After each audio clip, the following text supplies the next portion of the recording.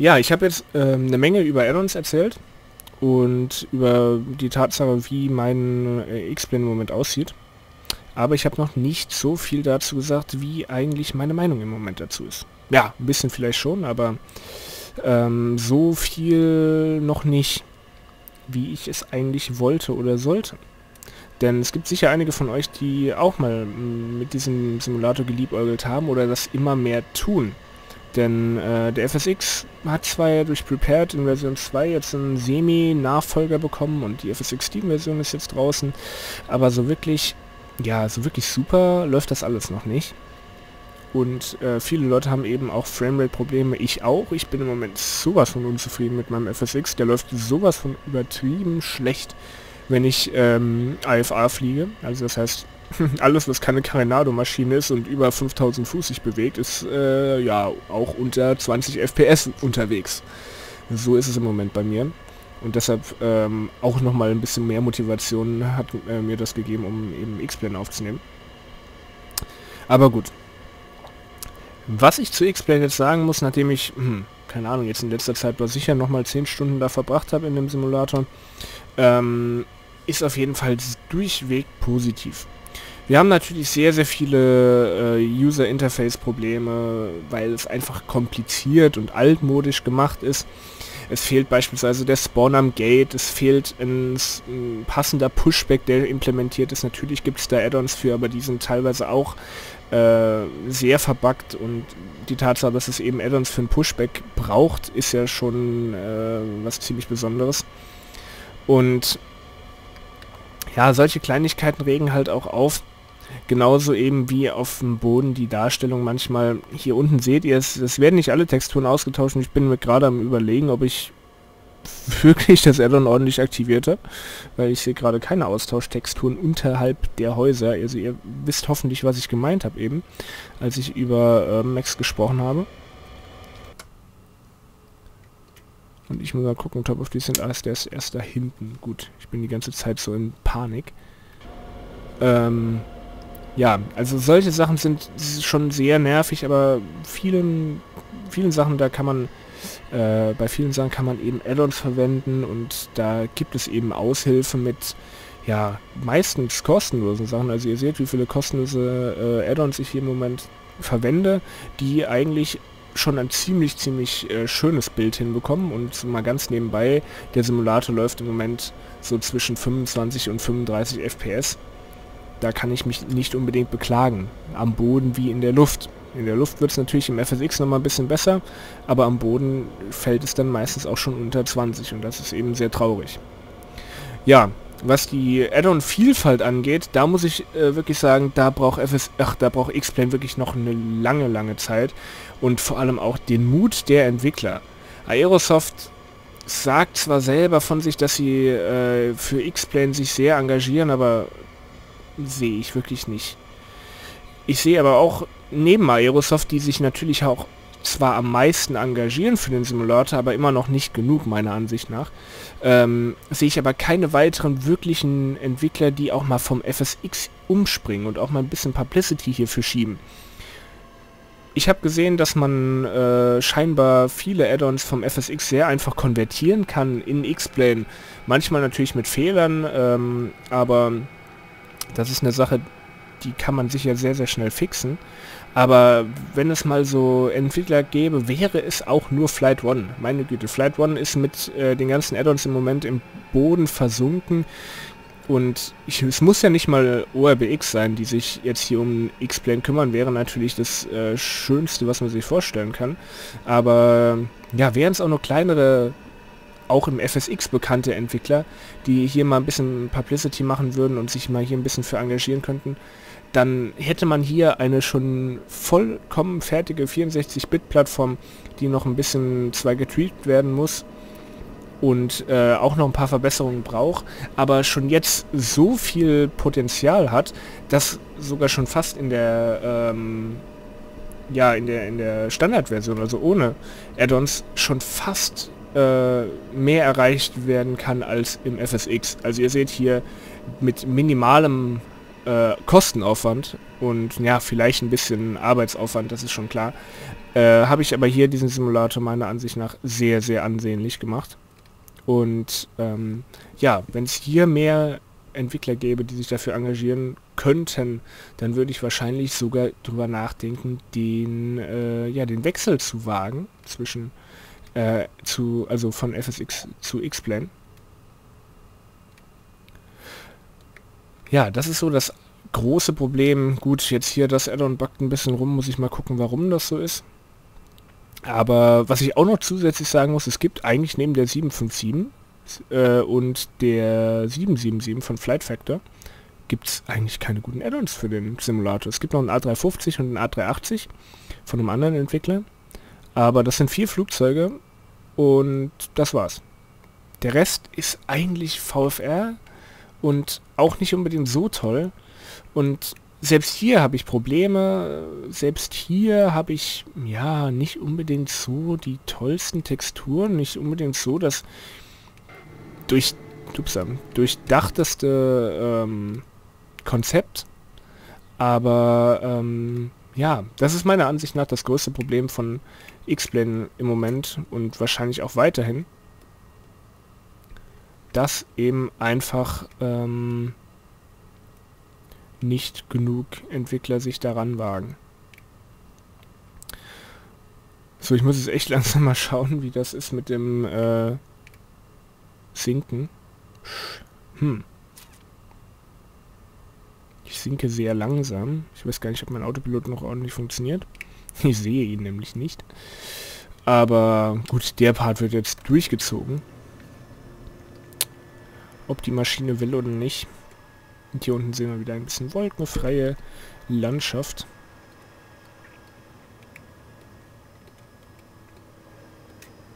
Wir könnten uns jetzt mal hier eine, einer schönen Sicht bedienen. Das ist das Schöne mit zwei Head-Switches, die ich hier zugeordnet habe. Und eigentlich auch zuordnen Bleibst du hier? Ähm, habe ich die Möglichkeit, mich eben hier unabhängig zu bewegen Einmal äh, um die eigene Achse oder um eben eine Fixachse mich zu drehen. Und dann kann ich auch hier nochmal ein paar schöne Screenshots machen. Das ist immer, immer eine tolle Sache, wenn man einen Simulator oder ein Spiel hat, wo man tolle Screenshots für Thumbnails machen kann. Das mag ich immer sehr. So. Ja, wo war ich? Ja, das Flugzeug macht gerade ein bisschen Probleme. Es gibt wenige Add-ons für X-Plane.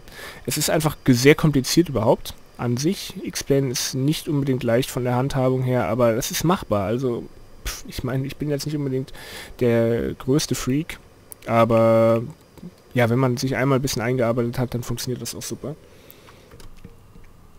Flugphysik ist auf jeden Fall äh, gegenüber dem FSX äh, wirkt es auf jeden Fall realistischer. Ob es denn wirklich so ist, bei jedem Flugzeug kann ich nicht sagen. Und auch hier bei dieser 777 habe ich schon gelesen, dass es viele ja, unrealistische Züge gibt, wie beispielsweise der Wingflex, der zwar da ist, aber irgendwie eher nach äh, Flügelschlag eines Vogels manchmal ähm, aussieht, als nach wirklichem Wingflex. Aber ähm, generell die Möglichkeiten, die X-Plane auch für die Flugphysik bietet, das habe ich auf jeden Fall überall schon gehört. Ich kann es natürlich nicht unbedingt äh, bestätigen, da ich selber kein Pilot bin, aber nach all dem, was ich gehört habe, ist auf jeden Fall X-Plane ähm, sehr viel besser, was die Möglichkeiten zumindest angeht. So, jetzt sind wir hier knapp unter der Wolkengrenze wieder und sinken. Links von uns haben wir dann die Alpen. Das sieht auf jeden Fall super aus. Ihr seht jetzt, was ich gemeint habe am Anfang der Aufnahme, dass ähm, ja, hier diese HD Mesh Scenery sehr Gutes tut und wenn man so eine Szene vergleicht ähm, mit dem FSX, dann wird man schon sehr enttäuscht sein vom FSX an sich. Ach Mensch, alles so schön für Screenshots, bräuchte ich gar nicht mehr aufhören. Ähm, ja, und hier unten, ja, ich glaube, Urban Max funktioniert in den größeren Regionen schon, aber pff, irgendwie auch nicht so ganz dolle. Na gut. Ähm, ich hätte jetzt auch gerne mal bald meinen Autopilot wieder zurück. Ich habe nämlich keine Lust, ähm, jetzt hier die ganze Zeit manuell zu fliegen. Und ich bräuchte noch eine ein Star. Und zwar nicht für die 05 oder für was brauche ich denn einen Star? Sorry, das im Hintergrund ist mein Handy mit den aktuellen Kommentaren für den FSX, für den äh, FSX-Part, der eben rausgekommen ist. Ähm, Ulma 1P, Ulma 1N ist mir wurscht, aber wir sollten es einfach mal eingeben. Das ist die 05 und Ulme 1, ach, was weiß ich. Dann gut. Clear Dingens. Dann clearen wir das halt. Ulme 1, was? P. So. Das funktioniert. Discontinuity, zack. Execute. Wunderbar. Jetzt müssen wir gar nicht mehr so weit sinken. Wir bleiben, glaube ich, jetzt gerade auf einem Level, denn unser Top of Descent wurde aufgrund der Tatsache, dass ich den Flugplan noch nicht fertig hatte, viel zu früh eingeleitet.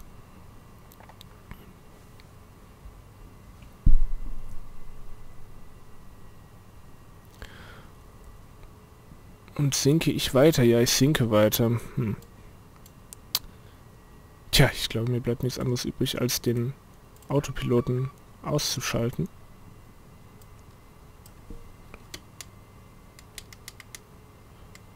Wenn das denn ginge.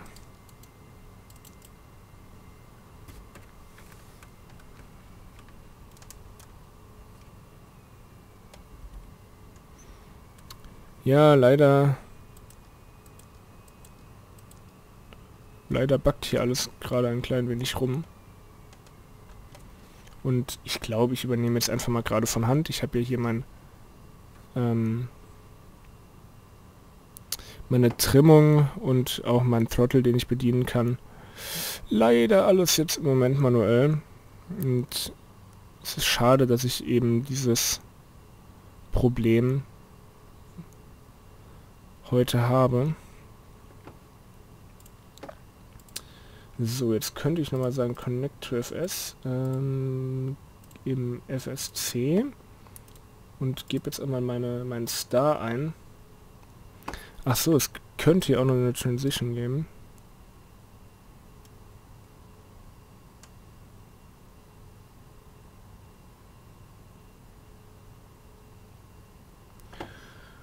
Welche nehmen wir denn dann?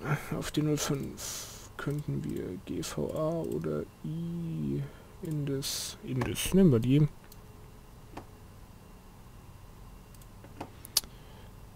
Da braucht es noch eine Transition sehe ich gerade. So, gut, dann funktioniert das auch.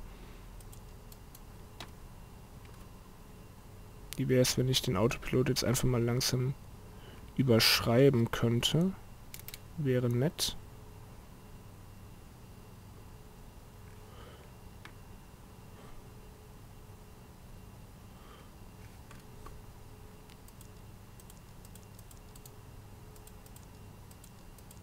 Nein, ich will, ich will aber nicht drehen. Mensch.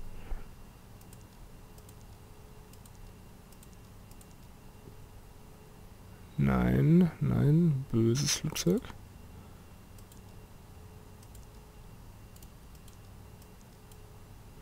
Das Problem ist, ich kann den Autopiloten, ich pausiere mal gerade und gehe mal gerade in die Einstellung, ähm, Auto Throttle. Ich wollte... Haha, jetzt weiß ich auch, warum das nicht geht. Ähm...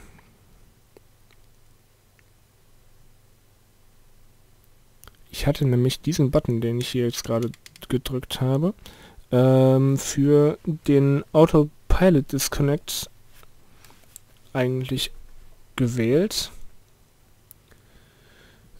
Aber ich würde ihn gerne für den kompletten Autopiloten benutzen. Hm, gib mir einen Moment. Jetzt muss ich mal gerade schauen, wie und wo ich den Autopiloten jetzt hier ausschalten kann.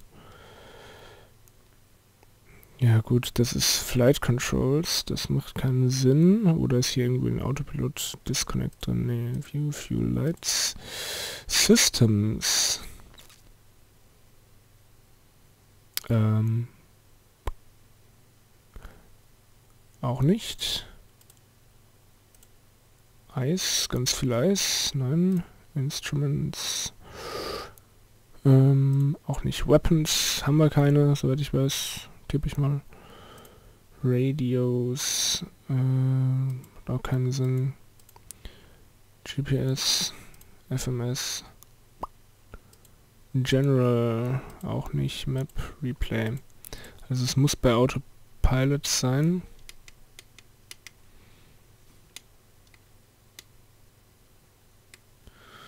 Ähm,